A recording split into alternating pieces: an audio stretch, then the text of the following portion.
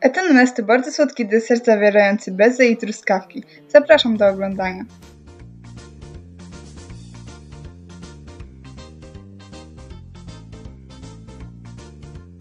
Przygotowania około 4 pucharków potrzebujemy 3 ciałka, 700 g truskawek, 6 łyżek i 1 łyżkę cukru pudru, 500 ml śmietanki kremówki oraz 2 łyżki soku wieloowocowego. W samym początku przygotowujemy bezę. Lubiamy białka, po czym dodajemy do nich stopniowo cukier puder.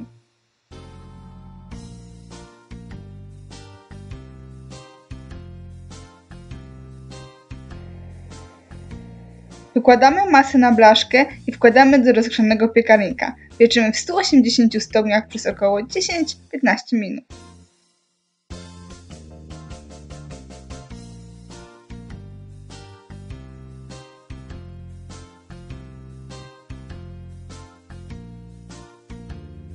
Tym czasie ubijamy kremówkę.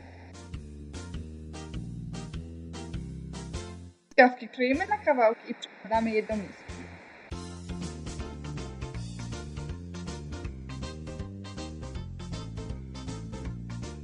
Polewamy je sokiem wieloowocowym i posypujemy cukrem pudrem i mieszamy.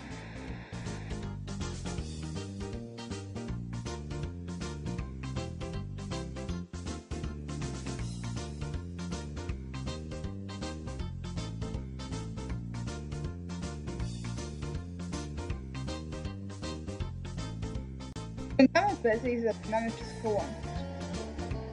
Na sam dół wykładamy bezę, następnie wylewamy trochę kremówki i kładziemy truskawki. Powtarzamy tak do pokrycia całej powierzchni.